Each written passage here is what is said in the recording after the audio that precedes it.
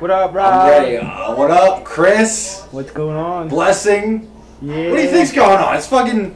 What's the date? It's January 1st because the ball dropped like 15 minutes ago. So we're drinking beer. Sip it. Yeah.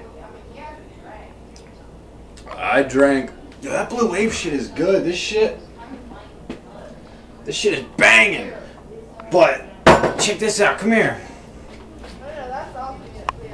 This shit is even better. I mean, it's more harsh, but it tastes better. UV blue, whatever Sam gave me, man, that shit was good.